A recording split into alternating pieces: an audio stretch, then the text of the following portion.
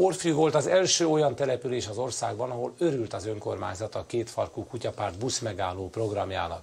Egy hónapja számoltunk be arról, hogy egy színes építményt állítottak fel a faluban, ahol pár nappal később még a helyiek szerint is váratlanul megjelent egy hivatalos megálló is. Mivel két beállónak egy helyen nem sok értelme van, kerestek egy másik buszmegállót, ahova kézben vitték át a párt passzivistája megállót. Mindezt úgy, hogy közben akinek kedve volt, az együtt utazhatott a megállóval. Elfelejtettünk indexelni. Orfűn egy fiatal lány várakozott kutyájával a buszra, amikor a két farkúak megérkeztek egy komplett kézben cipelt megállóval. A lány beszállt, és így a megállóval együtt folytathatta útját.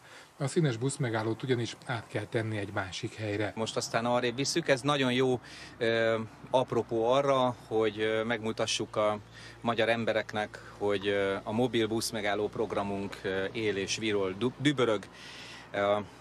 Tulajdonképpen ez lenne a cél, hogy a buszmegállók mobilak legyenek. A viccpárt buszvárója ebbe a megállóba kerül, majd itt egyáltalán nincs hova beállni, ha esik az eső, vagy ha éppen árnyékra van szükség. Mindegy, hogy kirakjon, az a lényeg, hogy legyen itt egy buszmegálló, mert ez nagyon népszerű, nagyon forgalmas buszmegálló.